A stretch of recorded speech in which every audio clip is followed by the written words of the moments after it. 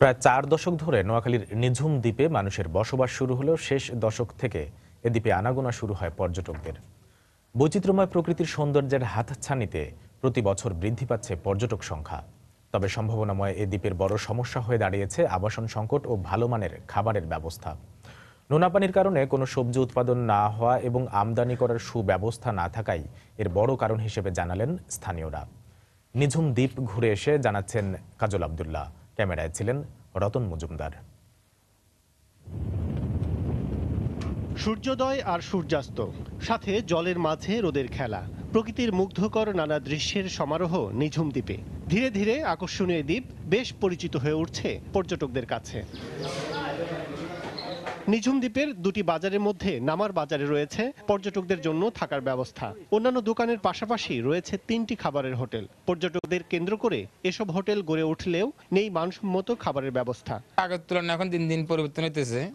আর tourist যারা আসে তারা রুচিসম্মত তারা বলে কি খাইবো আমরা অথবা সেটা সংগ্রহ করি পাক করি তাদেরকে দিই। নোনা এলাকা হিসেবে তরকারি হইতেছে না।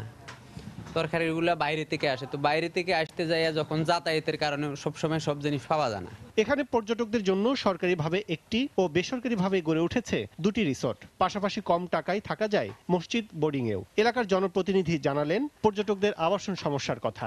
থাকার মতো কোনো জায়গা নেই। মানুষ তামু বিছে বিছে নদীর কূলে অবস্থান করছে। মানুষের বাড়ি বাড়ি অবস্থান করছে। এখানে দুইটা মাত্র বোর্ডিং আছে একটা হইল সরকারি আর একটা মালিকানা বোর্ডিং আছে। আগামীতে পর্যটকদের জন্য স্পিডবোট কেনা সহ বিভিন্ন সুযোগ সুবিধা বৃদ্ধির কথা জানায় স্থানীয় বন বিভাগ। একটা বোট কিনে হয়েছে কিছু একটা দোকান করা হয়েছে ওইখানে স্বল্প মূল্যে মনে করেন যে তাদেরকে বিভিন্ন জায়গায় ঘোরার জন্য ওই অল্প অল্প খরচে এই ব্যবস্থা আমরা করে রেখেছি। আরও পর্যটক যদি আরও বাড়ে এবং ভবিষ্যতে আমরা আরও কয়েকটা বোট কিনে নেব। এ দ্বীপের নিরাপত্তা পরিস্থিতি আরও উন্নতি করার দাবি সংশ্লিষ্টদের। কেওড়া বন, পশু পাখি আর নানা জাতের মাছ। সাথে রয়েছে এই দ্বীপের চারপাশ জুড়ে সমুদ্র খ্যাত এমন বিস্তীর্ণ এলাকা। ফলে প্রতি বছর পর্যটকের সংখ্যা বাড়ছে।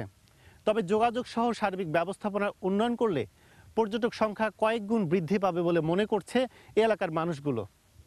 নিঝুম দ্বীপ থেকে কাজল আবদুল্লাহ, সময় সংবাদ, হাতিয়া, নোয়াখালী।